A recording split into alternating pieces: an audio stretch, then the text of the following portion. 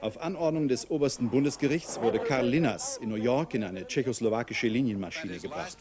Er soll im Zweiten Weltkrieg als KZ-Kommandant in Estland an der Ermordung mehrerer hundert Juden beteiligt gewesen sein. Beim Einsteigen leistete er heftigen Widerstand. Der 67-Jährige wurde in die estnische Hauptstadt Tallinn gebracht, wo er vor 25 Jahren in Abwesenheit zum Tode verurteilt worden war.